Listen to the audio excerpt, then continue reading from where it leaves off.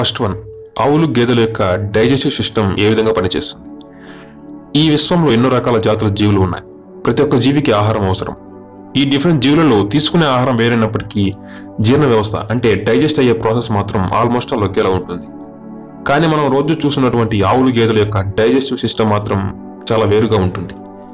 ఇవి ఒకసారి తిన్న ఆహారాన్ని తిరిగి నోట్లోకి తెచ్చుకొని నెమరు వేస్తూ ఉంటాయి. ఇప్పుడు అది ఎలాగో చూద్దాం. ముందుగా ఇవి ఆహారం మొత్తాన్ని అంటే గడ్డిని లేదా మొక్కలని నమ్మలకుండా ఒకేసారి మింగేస్తాయి. జనరల్గా గడ్డిని మొక్కలను తినే జంతువులను హెర్బివోస్ అంటారు. ఎగ్జాంపుల్కి ఆవులు గేదెలు మేకలు గొర్రెలు మొదలైనవి. డైజెషన్ ప్రాసెస్ తెలుసుకునే ముందు డైజెస్టివ్ సిస్టంలో ఉండే పార్ట్స్ ఏంటో చూద్దాం. First one rumen reticulum omasum abomasum.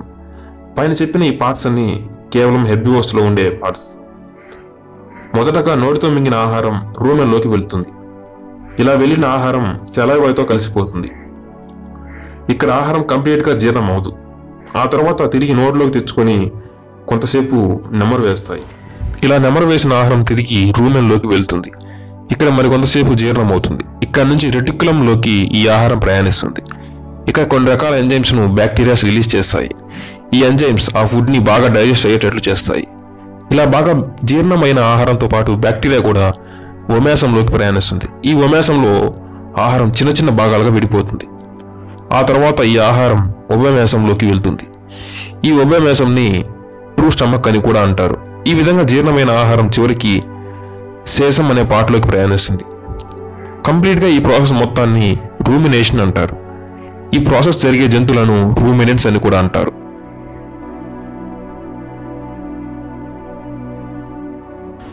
Second one.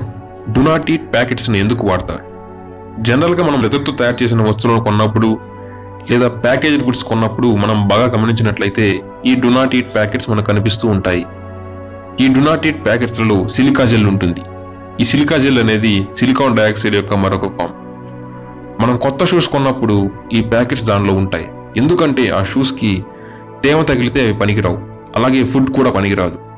So ఆ తేమను లాక్కోవడానికి ఈ సిలికా జెల్ ప్యాకెట్లను అందులో ఉంచుతారు. ఈ ప్రాసెస్ని అడ్జాప్షన్ అంటారు.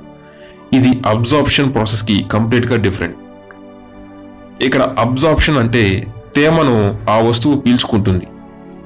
ఉదాహరణకి స్పాంజ్ లాగా. మరి అడ్జార్ప్షన్ అంటే ఆ తేమను ఆ వస్తువు తన సర్ఫేస్ మీద ఉంచుకోవటం అంటే ఆకర్షించుకోవటం.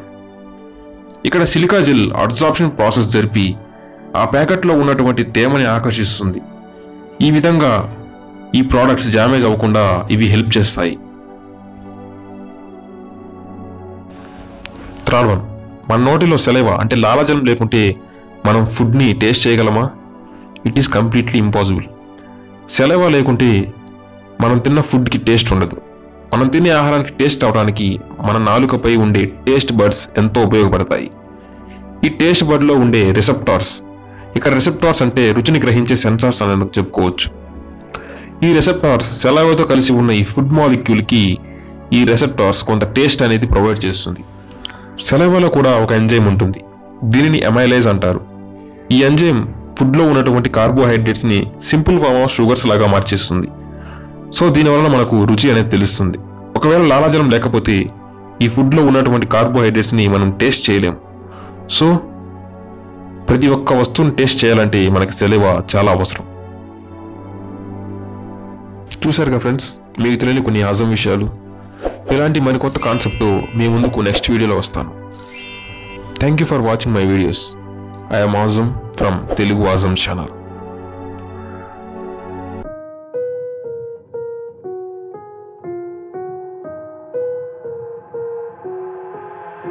I've got an itch I can't scratch, I'm missing a piece that completes a whole part of me, an open wound scar to see.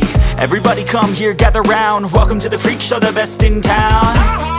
What the hell's wrong with me? I don't get along with anybody, honestly. I've been